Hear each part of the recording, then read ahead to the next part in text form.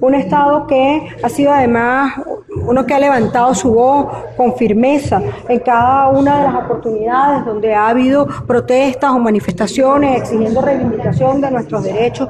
Un Estado que es emblemático por el caso, por ejemplo, de Geraldine Moreno, cuya madre nos ha acompañado, y de tantas otras víctimas de violación de derechos humanos que han ocurrido aquí. Presos, perseguidos políticos, asesinados. Todas estas denuncias pasan al registro único de víctimas que se está realizando conforme a los parámetros internacionales para que luego en efecto podamos garantizar que haya justicia en cada uno de los casos y que haya un verdadero resarcimiento de las víctimas.